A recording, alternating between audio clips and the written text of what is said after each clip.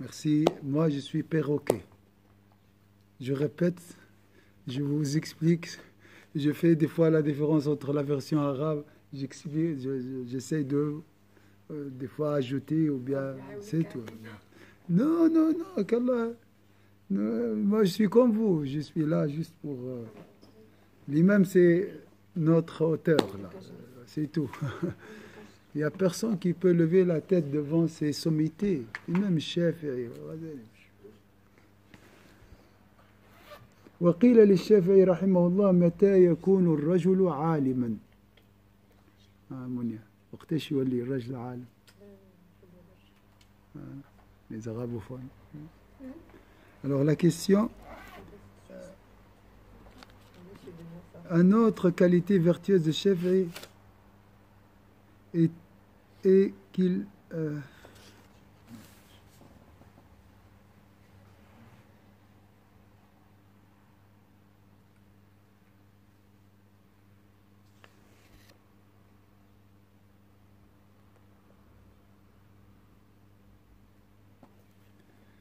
Est-ce que c'est traduit?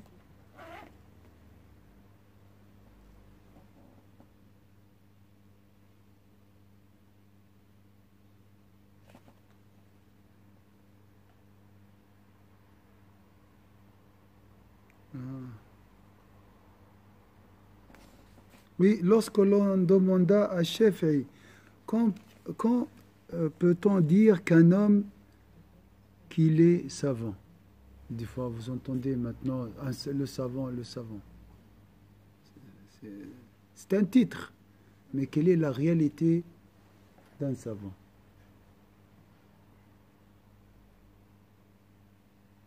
Comme ça, vous ne serez pas la prochaine fois déçu. Ah, tel alim, il était, je l'ai, je pensais qu'il était.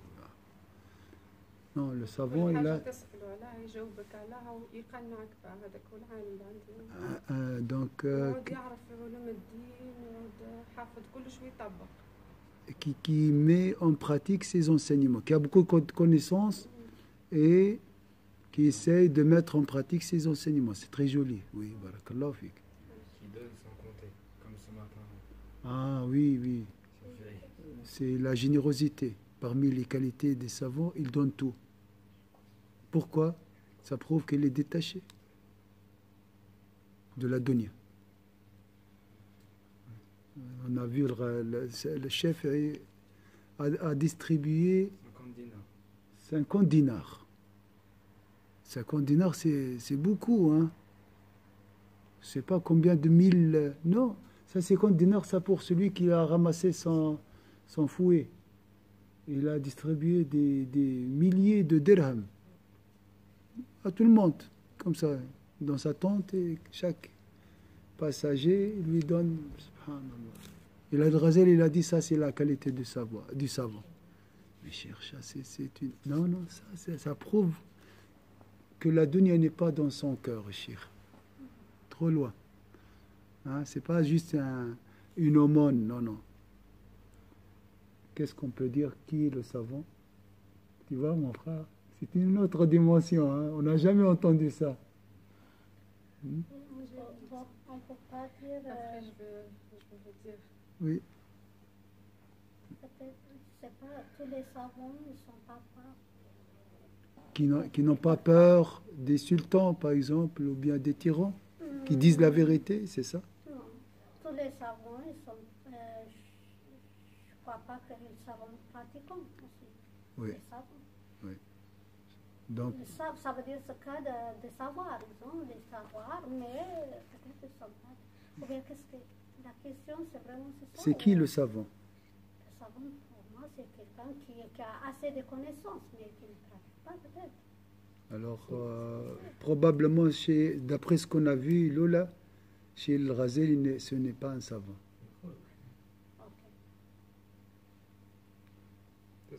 Pour nous, c'est un savant.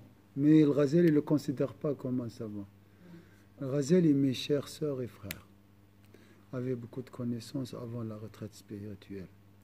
Dans son introduction de ce livre qui s'appelle La révification des sciences de la il a dit J'ai écrit ce livre parce que j'avais peur d'un hadith le prophète disait le pire châtiment d'Allah le jour dernier est réservé à un savant dont son savoir n'était d'aucune utilité. قال أشد الناس عذابا يوم وقال كتبت هذا الكتاب انحيازا عن غمار من قال فيهم صاحب الشرع أشد الناس عذابا يوم القيامة عالم لم ينتفع بعلمه Il a beaucoup de connaissances, mais sa, sa science n'était pas bénéfique pour son cœur. Les personnes qui apprennent la science à travers lui seront jugées comme lui parce qu'il Oui. apprend des choses qui ne sont pas exactes, justes, etc. etc. Et Et sa ça- connaissance n'est pas utile. Après, les élèves qu'il a Les élèves, seront jugés. ils sont responsables eux aussi. Ils doivent mettre en pratique. Lui, il sera jugé tout seul et Allah lui a réservé le pire châtiment parce que c'est un savant. Hein? Il ne doit pas se tromper, il doit- il n'a pas- il n'est pas excusé. Il, ça, il sait, il savait. Vous voyez? Pire châtiment. euh, Il avait peur, le Razali, de ça. C'est pour ça qu'il a arrêté tout. Il a dit, je vais passer maintenant à l'action, à mettre en pratique ces enseignements. Il a dit, pour moi, la connaissance, c'est un... Il a dit, la connaissance, le savoir, très facile pour moi, pas comme nous. Subhanallah, il est parmi les cinq personnalités qui ont influencé la pensée humaine.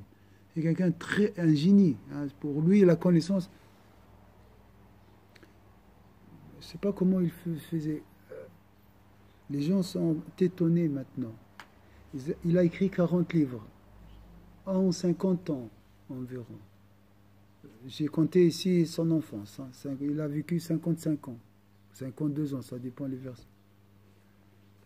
Quand est-ce qu'il a euh, étudié et combien de temps il, il a pris pour écrire ou bien euh, euh, souvent, et c'est pas lui qui écrit, il a toujours un scribe. Lui, il parle et l'autre, c'était comme ça avant. Comme maintenant les maisons d'édition, c'était comme ça. Le Warraqin, c'est des gens, entre guillemets, il avait un, un, un cheikh parmi les chours d'Al-Ghazali qui s'appelle Abu Bakr al-Warraq. C'était un scribe. Et c'était une métier, un métier vraiment pour les pauvres. Les, celui qui, euh, parmi les, c'est les guides spirituels de Ghazali. Imagine, un, un, un guide, un scribe, donc quelqu'un qui gagne sa vie en, en, en- en copiant, en copiant, en créant, en, euh, voilà, en copiant les livres. C'est- c'est- Mais avant, il n'y avait pas beaucoup de gens qui savaient lire et écrire. oui, Du coup, normalement, ça aurait dû être un peu plus ah, à l'époque de Ghazali, c'est déjà là. il y avait- où il y avait déjà où la connaissance de l'écriture, elle était plus vaste. Répondu, oui, bien sûr. À l'époque de Ghazali, c'était les, les Perses, machin. Lui, il était perse, et la civilisation, la Umm, elle était euh, au niveau de la connaissance au sommet. hein. Ils ont traduit la philosophie grecque, machin, c'était déjà. Avant, c'était à l'époque des prophètes, il y avait beaucoup d'analphabètes, des analphabètes. Alors, euh, ils ont dit, comment il a fait cet homme? Combien de, livres, combien de pages il écrit? Et il, il, euh, euh, dicté, dicté par, jour. C'est un miracle, subhanallah. Allahu comment il le faisait. Donc c'est la baraka aussi. Alors il a dit, le savoir, il n'y a pas de problème pour moi. Mais la chose qui est la plus difficile pour moi, c'est la, mise en pratique. Comme aujourd'hui, nous. Je peux rester, écouter une conférence une heure et demie. Mais je ne peux pas faire un quart d'heure de dhikr. Vous voyez? Le c'est l'invocation de Dieu. Comme Allahumma salli wa sallam Muhammad, la.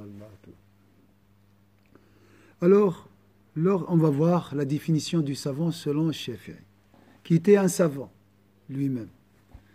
Et pour nous, le savoir, c'est la jurisprudence, connaître beaucoup de, choses concernant les lois. Maintenant, c'est l'idée répandue, n'est-ce pas? Alors regardez la définition du savant, du savant et du savoir, bien sûr, chez même chef. Lorsque l'on demanda à chef, quand peut-on dire qu'un homme qu'il est savant, il répondit, quand celui-ci connaît de façon profonde une science particulière, l'enseigne et aborde les autres sciences en s'informant de ce qu'il ignore. À ce moment-là, il devient savant.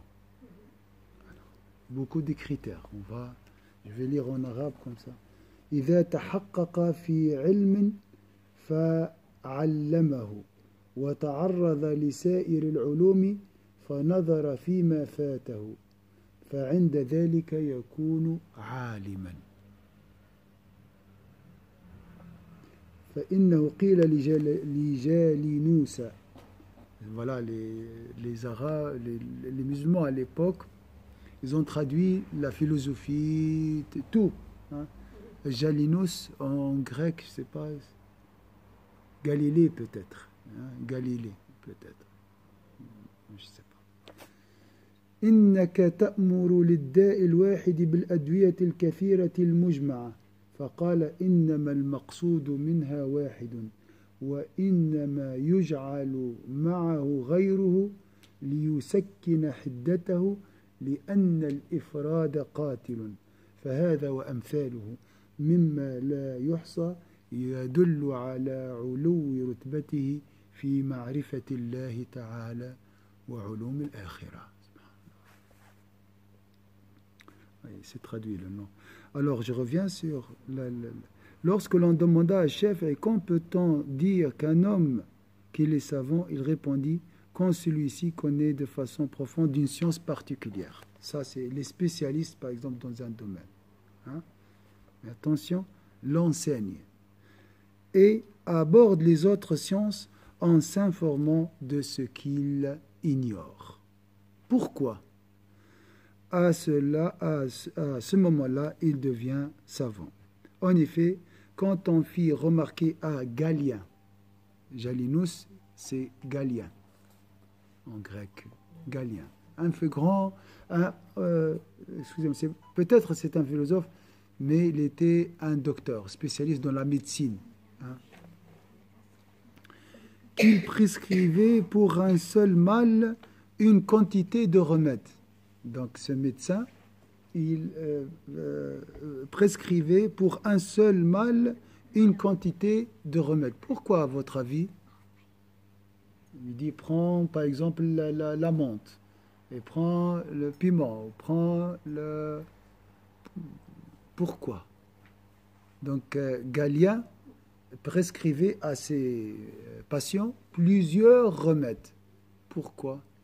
Donc il ne faut pas seulement être spécialiste ou bien avoir une connaissance profonde euh, euh, d'une science particulière sans aborder les autres sciences.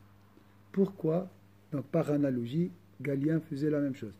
Il donne un remède, mais et, euh, il prescrivait aussi d'autres remèdes. Pourquoi? Peut-être si, si je vois mais l'autre, ben, c'est de ne pas négliger aussi le, savoir des autres, oui. de se renseigner. Euh, puis aussi, bon, aussi, on pour les médicaments aussi pour voir l'effet, l'effet des médicaments. Bon, c'est laquelle le plus meilleur pour choisir. Euh, euh, Lola, là, dois, tu dois prendre les, tous les. Euh, tu dois, par exemple, le matin, tu prends ce remède. À midi, tu prends un autre. Donc tu dois prendre l'ensemble de ces remèdes. Pourquoi? Pour guérir le plus rapidement possible. Mais comment? Parce que tout est lié. Tout est lié. Il y a une. Comment cette relation? Quelle est la relation entre les remèdes? Quel rapport entre les remèdes Comme ça, on peut comprendre quel rapport entre les sciences. Une synergie. Voilà et cette complémentarité ou bien c'est un équilibre. Tu peux trouver un remède qui a des inconvénients anéanti par un autre remède. Vous voyez Donc la même chose, si tu te focalises sur la spiritualité sans, par exemple, apprendre la langue arabe, ça c'est néfaste. Si tu apprends seulement tajwid sans euh, avoir une idée sur la spiritualité, c'est aussi dangereux. Il faut euh, trop hein, mélanger, voilà, mélanger pour trouver l'équilibre. C'est bien d'être spécialiste euh, d'une science particulière, mais il ne faut pas négliger les autres. Vous voyez l'intelligence du même chef. Hein. Vous voyez? Les gens, ils ont un chef, et c'est quoi? C'est comment faire les ablutions, et comment acheter, vendre selon la loi, se marier. C'est pas ça la science, mes chefs. Vous voyez les mêmes chefs on parle peu de ce, côté caché de, ces savants. Et ça, c'est l'objectif de ce cours. Vous montrer, vous prouver que ces imams étaient élevés, pas seulement parce qu'ils étaient très intelligents au niveau juridique, mais parce qu'ils priaient la nuit. Ils, avaient une connaissance du cœur très profonde et ils étaient des ascètes et cherchaient à, plaire à Allah Vous voyez? C'est pour ça si tu vas en Éthiopie, tu parles de Shafi'i, subhanallah. Pour eux, c'est après le prophète, c'est l'héritier du prophète. Si tu vas en Nord-Afrique, tu parles d'Imam Malik, on ne dit pas nous, l'imam Malik, on dit Sayyidna l'imam Malik, notre maître, qu'Allah soit satisfait de lui. Si tu vas en Turquie, tu parles de Sayyidna Abu Hanifa, c'est fini. Subhanallah. Qui a euh, euh, déposé cette ce, respect, cette grandeur dans le cœur, parce qu'ils étaient des gens sincères, pas seulement des connaisseurs des informations. C'est ça les héritiers des, des prophètes. Ma soeur, ils ont un degré plus élevé que les aoulias. Aoulias, c'est des dévots. Tu peux trouver un homme, un poubellier saint. Hein? Mais les savants, c'est des aoulias et en plus, ils ont le savoir. C'est des écoles des saints. Subhanallah. C'est eux qui, euh, qui, qui, enseignent les saints, qui, guident les saints. Allahu Akbar. Ça, c'est des, des, des, sommités. Hein? Bien sûr, quand je dis ça, euh, partout dans le monde, les quatre imams sont honorés, respectés. C'est vrai, quand je parle des chaféites, les chaféites respectent l'imam Malik, mashallah. Les malikites, pour nous, l'imam Shafi'i aussi, c'est le frère de l'imam Malik, il n'y a pas de différence. C'est juste, voilà, c'est Allah a, divisé l'amour entre dans la communauté de la Ummah, c'est tout. Comme ça, hein, ils sont respectés partout, subhanallah. Hein? Oui, ça aussi, oui. Il faut, comme tu as dit, connaître la jurisprudence euh, halafite. Alors, en effet, quand on fit remarquer à Galien qu'il prescrivait pour un seul mal une quantité de remèdes, hein, je prends le diabète, hein, il donne plusieurs remèdes. Pourquoi? Il répondit en effet il n'y a qu'un seul remède. Les autres remèdes sont donnés en même temps pour atténuer l'effet du premier, ce qu'on appelle l'effet secondaire. Alors, je, me suis trompé, excusez-moi. Il y a un seul remède, mais ce remède a des effets secondaires. Qu'est-ce qu'on fait? On doit... Hein, c'est très très joli. Hein on doit associer à ce remède un autre qui va anéantir les effets secondaires. Ça, c'est des, siècles, peut-être 3000 euh, siècles, 3000 euh, ans. Hein, Galien, c'est très ancien. Vous voyez, c'est le, Donc la même chose.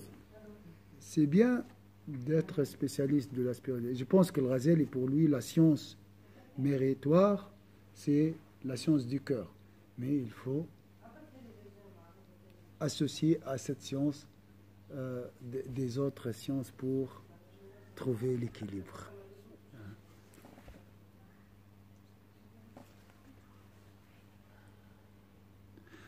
Les autres remèdes sont donnés en même temps pour atténuer l'effet du premier, car à lui seul, il serait mortel. Tous ces exemples et tant d'autres témoignent du degré élevé que Shafi'i avait atteint dans la connaissance de Dieu et les sciences de l'au-delà. Il avait une connaissance très grande d'Allah.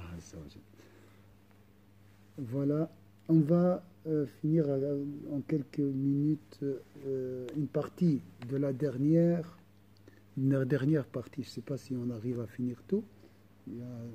en arabe, c'est pas comme en français. وأما إرادته بالفقه والمناظرة فيه وجه الله تعالى فيدل عليه ما روي عنه أنه قال وددت أن الناس الله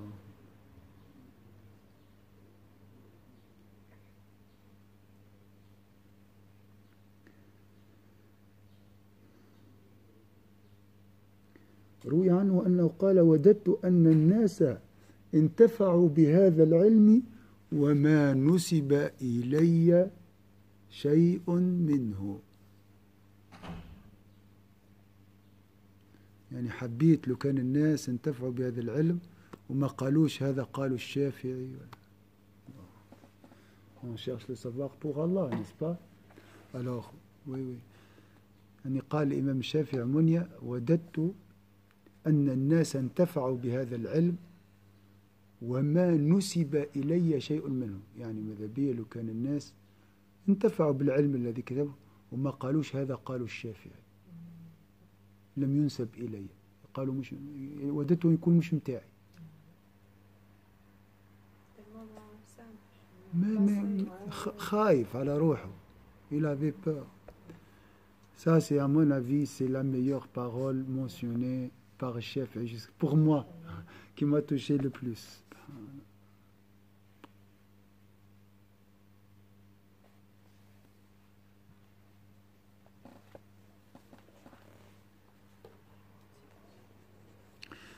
Donc, une autre qualité, la cinquième, la cinquième ou la quatrième, parce que la, cinquième, celle, la qualité de la connaissance juridique, on ne va pas l'aborder, elle est très connue. Hein. Il a écrit des livres, si tu veux connaître la grandeur de, de, de, de au niveau juridique, tu peux trouver des livres, ça c'est... Une autre qualité vertueuse de Shafi'i est qu'il pratiquait la jurisprudence, hein, le fiqh, connu aujourd'hui comme des lois des, euh, pratiquer la jurisprudence et participer au débat juridique pour la seule gloire de Dieu, hein, pour satisfaire Allah Azzawajal. Comment?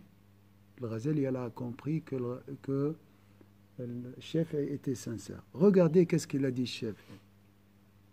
Comme le prouve cette parole, j'aurais aimé que les gens, us, dit, j'aurais aimé que les gens eussent bénéficié de cette science, sans qu'on ne m'attribue rien de celle-ci. Je répète, j'aurais aimé que les gens eussent bénéficié de cette science sans qu'on ne m'attribue rien de celle-ci. C'est pour éviter aussi la vanité. Exactement. Voilà. Il, il, il, a écrit tout ça, c'est pour Allah, pas non, pour les. Pas pour les gloires, en fait. فانظر كيف اطلع على آفة العلم. Son, son disciple, il a fait ça. Il a écrit un livre, il l'a attribué à quelqu'un d'autre. parce qu'elle avait peur de l'ostentation. فانظر كيف اطلع على آفة العلم وطلب الاسم وطلب الاسم له la renommée. Tout le monde cherche. Des fois وكيف كان منزه القلب عن الالتفات إليه مجرد النية فيه لوجه الله تعالى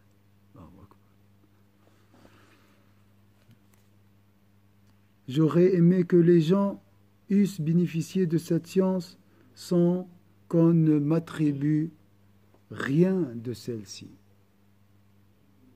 Dites, ça c'est la science de Mohammed, de mais pas de Shafi'i. Il préférait comme ça. Mais ce n'est pas possible, bien sûr. Les gens savaient. Shafi'i avait donc pleinement conscience des dangers auxquels expose la science. Il y a des dangers de la science. Il y a des dangers de l'enseignement. Et beaucoup des savants aujourd'hui ne sont pas conscients des, calamités de la science. Il y a les calamités de la science. Il y a les maladies et les vices de la science. J'ai remarqué quand les gens nous parlent, qui ne sont pas musulmans, qui nous posent beaucoup de questions, on tremble, on a peur de répondre faux certaines choses, parce qu'ils posent beaucoup de questions. Des fois, ça va au-delà de ce qu'on sait, ou ce qu'on connaît. C'est stressant. Oui. Parce qu'on a peur de dire faux, d'apprendre faux, c'est une responsabilité. Voilà. Alors moi, j'imagine même pas, euh, eux, la responsabilité qu'ils ont. Voilà.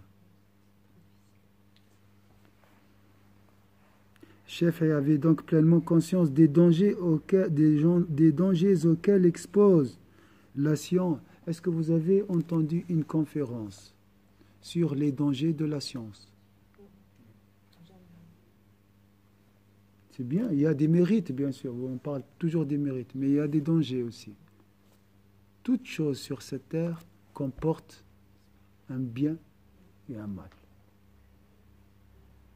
Toute chose. Les médicaments, il y a des effets secondaires. Même les médicaments. La science, la même chose.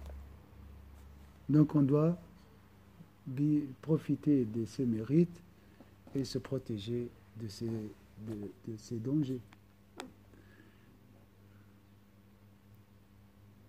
Et celui qui ne connaît pas les dangers de la science ne peut pas se protéger ou bien s'éloigner, les éviter. Dans ce livre, il a, il a écrit, il nous a parlé des calamités de la science. Mais c'est un expert. Il a vécu, lui, ces calamités, il a expérimenté vraiment la, euh, le danger de la Là, quand on parle de la danger de la science, la renommée. Masha'Allah, c'est un savant. Il a 3000 disciples. Masha'Allah. Il s'est dit, c'est des chirs, c'est des chirs. Oh, notre chir. C'est un danger, n'est-ce pas? L'argent, le poste, le sultan que j'ai un imam, un imam très... Subhanallah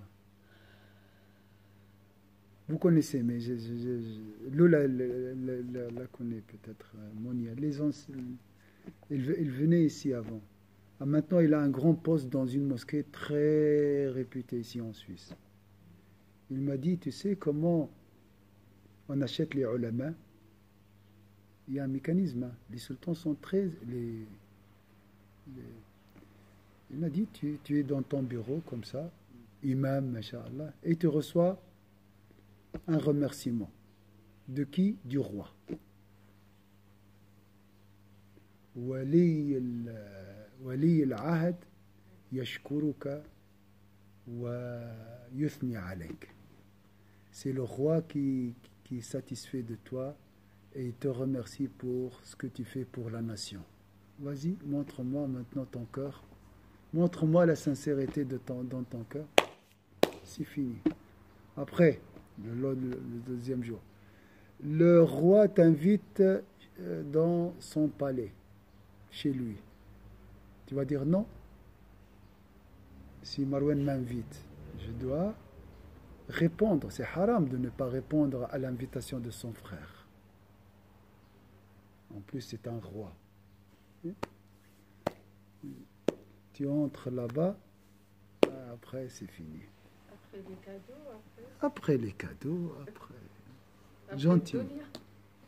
Après, on te demande juste une question. Hein? Une question simple. Voilà. Concernée à cette chose. Tu vas répondre quoi? Tu vas suivre le Ghazali ou le roi? Si tu suis le Ghazali, tu seras expulsé de ton poste. Si tu suis le, savant suit le roi, vous connaissez les, les conséquences. Vous voyez les conséquences, n'est-ce pas? Donc c'est comme ça qu'on fait corrompre les savants. Ah, c'est la magie, la sorcellerie de la dunya. Ça, c'est le danger du savoir. Il m'a dit, c'est comme ça. Imagine, m'a dit mon ami, c'est un ami hein, proche, parce qu'on parle, c'est un imam. Il m'a dit, imagine, tu reçois ce remerciement. C'est le roi de tel pays qui, qui, qui, qui m'a, voilà, qui parle de moi, qui a pensé à moi. Allahu Akbar. C'est pas facile, hein. C'est pour, pour, mais pour quelqu'un qui, qui, exerce cette métier, ce métier. C'est bien pour oh, tu sais qu'est-ce qu'il a dit, le Razeli Le Razeli, il a dit, après son expérience, parce qu'il était le conseiller d'un sultan, mais c'était un sultan juste, qu'Allah soit satisfait de lui. C'est un homme qui aimait le savoir. Il était assassiné, martyr. Il était assassiné par des criminels qui s'appellent Hashashin. Le mot Hashashin est traduit par assassin aujourd'hui. Le mot assassin vient de Hashashin. C'est des gens drogués. C'est une, secte. Hein. Alors, il a dit il ne faut jamais entrer dans, aller, vers, aller chez un roi, même pour lui conseiller, lui donner conseil. Jamais. Il a dit déjà, quand tu marches sur, son tapis, tu es pécheur. Parce que ce tapis appartient au peuple. Et tu as.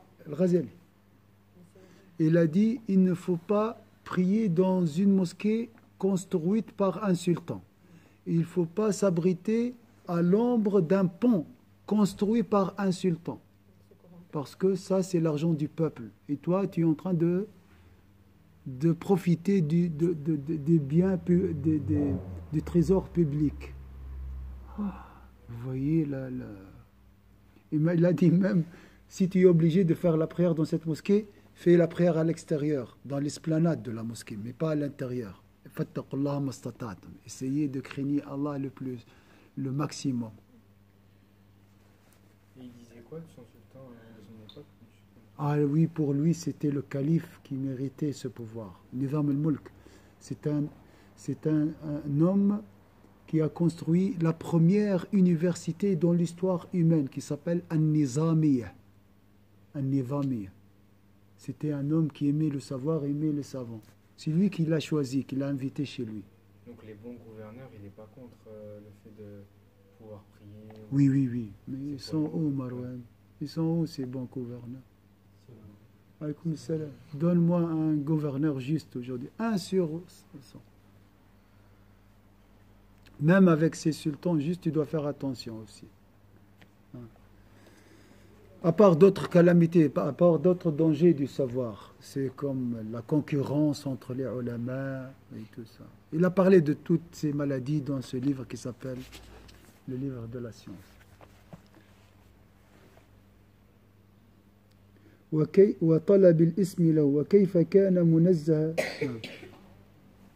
On va s'arrêter ici. L'imam chef en rapporte celui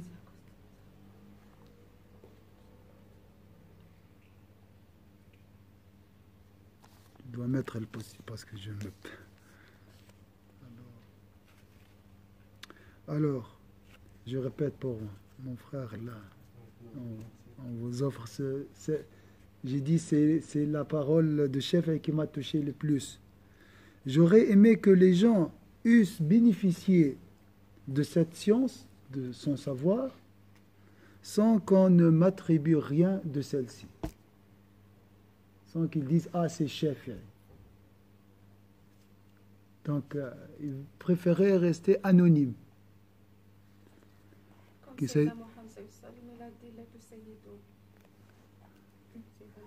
Il n'a pas dit ça. Mais Sayyidina Omar, il a dit Layta umma Omar lam Layta, Layta umma Omar lam talidni. Hein, il a dit, je, je viens à Karim, il a dit Je préfère, si j'ai la possibilité, je, préfère ne pas naître. J'espère que ma mère ne m'a pas engendré. C'est normal.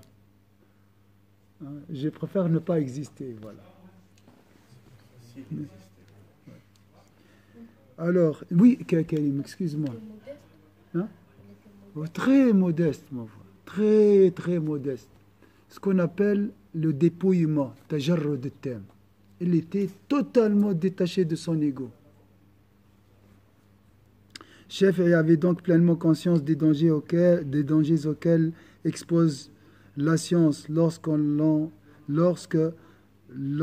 en sert pour se faire un nom. C'est la renommée. Ah, le cœur de lui-même était dénué de ce genre de préoccupation. Voilà, dénué de ce genre de préoccupation. Totalement détaché. Son intention était consacrée à la seule face de Dieu.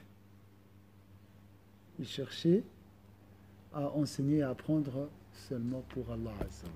Ça, ça prouve qu'il était sincère. C'est pour ça qu'il était élevé. C'est pour ça on dit Saïd C'est pour ça vous êtes là. Hein. Si cet homme n'a pas, n'occupe pas une place très élevée auprès d'Allah, vous n'allez pas consacrer des heures et des heures pour écouter et suivre euh, et connaître sa vie et ses qualités. Est-ce que vous avez une question? Vous voulez ajouter quelque chose? Essayez de respecter. Je me force à respecter l'heure parce que c'est très très beau.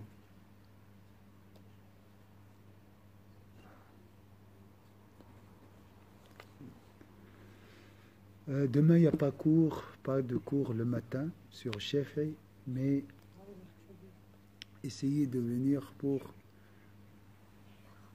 euh, de profiter des qualités de nos frères. On a des frères qui sont pieux, saints, ils ont beaucoup de lumière. Et la lumière n'est pas, ce n'est pas facile maintenant aujourd'hui, en nos jours, de la trouver facilement. Il faut patienter et chercher ces qualités. Donc il y a la science et aussi les qualités. Parce que j'apprends de Monia comment elle parle, comment elle regarde, comment elle réagit. Hein. Ça, c'est une science aussi. Donc, il y a aussi il y a le qudwa, l'exemple. Il y a l'enseignement par l'exemple. Et rare de trouver quelqu'un qui nous enseigne par l'exemple aujourd'hui, n'est-ce pas? Beaucoup de connaissances, mais le comportement, ça c'est... Donc demain à 10h, si vous avez un peu du temps, Inch'Allah, il y aura le cours au deuxième étage pour ceux qui n'ont pas. Est-ce que vous avez une remarque, quelque chose à ajouter Vous êtes déprimé, choqué par ces paroles. Hein? On ne sait pas, des fois on est.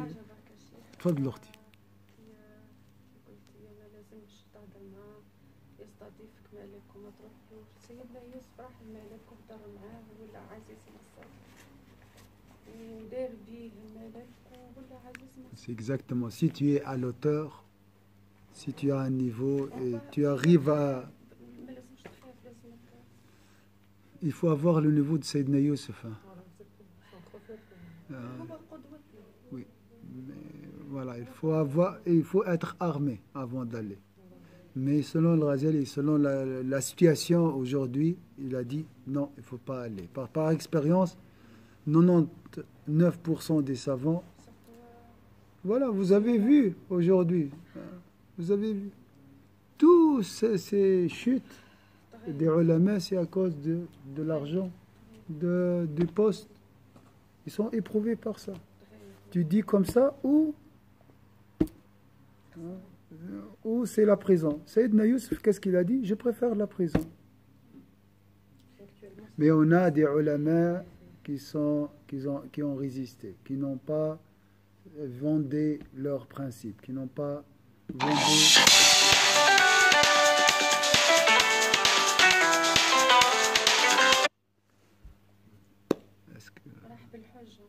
Mais c'est un dans 1%. C'est vrai ou pas? Donc les choses sont claires maintenant. Vous voyez tout devant vous et vous pouvez distinguer le vrai du faux. Alhamdulillah, c'est ça, c'est ce qui, ce qui est beau dans les réseaux sociaux. On peut tout voir maintenant. Il n'y a rien qui, qui se cache. Mais je juge personne quand je parle comme ça. Je parle d'un phénomène. Mais de toute façon, qui qui paye Parce qu'il il touche un salaire quand même à la fin du. Oui. Ah. Il faut, bien sûr. Oui, ma soeur, oui. Tu, peux prendre un salaire, bien sûr, tu dois vivre pour... C'est l'État qui paye, mais il ne faut pas adorer l'État. S'il faut dire la vérité, D'accord.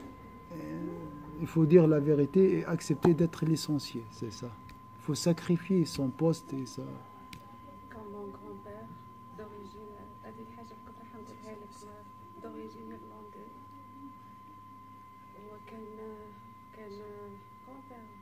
ان شاء الله ايرلندي ما شاء الله ما شاء الله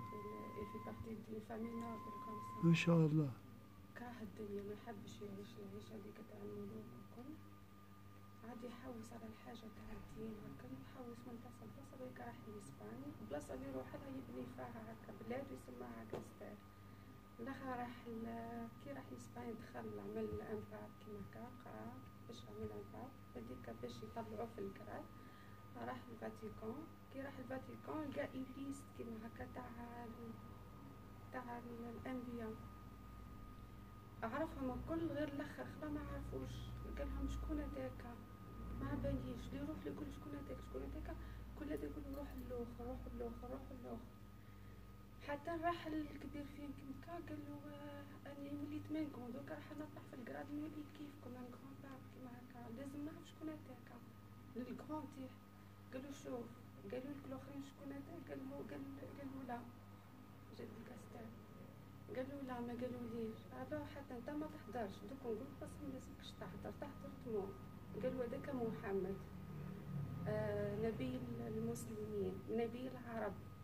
بس هما مسمينه باسم واحد آخر. لا إله محمد رسول الله. آه كي سمع كيما هكا. اللي هذا بس إحنا ما نعرفوش بيه تكبروا تكبر. ما يحبوش آه ما يحبوش آه ما يحبوش واحد من العرب كيما اليهود. كي سمع كيما كا هرب في دير قبل نهار راح لتونس هرب لتونس. كان تونس سلطنة كان عندها سلطان هكا آه، طلب اللوجو كان قبلوا ب- السلطان تاع تونس وجاوه وعرضوا عليه كلش الدنيا كان هنا. يوم هذيك دخل للجزاير راح للجزاير تبسى زاد بنا بلاد اسمها كاستان وتفطن تما. قبل الاستعمار الفرنسي. إن شاء الله. سي يسابيل با ترجمان سيدي يحيى بن طالب كاستان آه ما شاء الله. كان ولي صالح. ما شاء الله. وكان عالم. كما هكا كما آه، أنت قاعد تحكي على الشافعي وأنا قاعد نتفق نعم. سبحان الله. هو هم يعيطوا نقولوا إحنا يعيطوا لبعضهم راه. ربي يعطينا الدار بارك الله فيكم الحمد لله